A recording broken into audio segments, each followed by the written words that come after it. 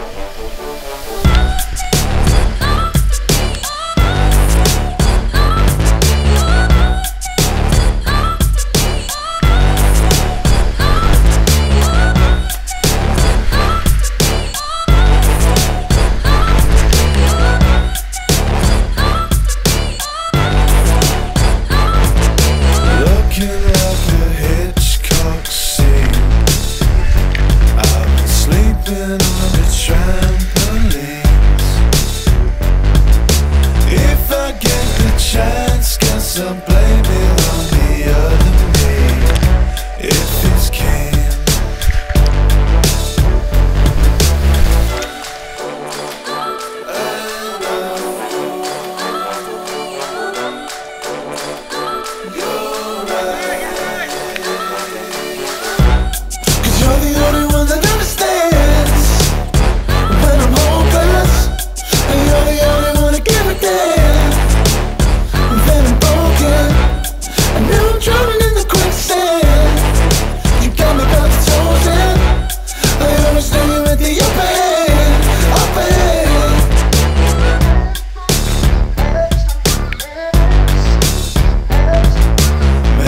messages I sent to her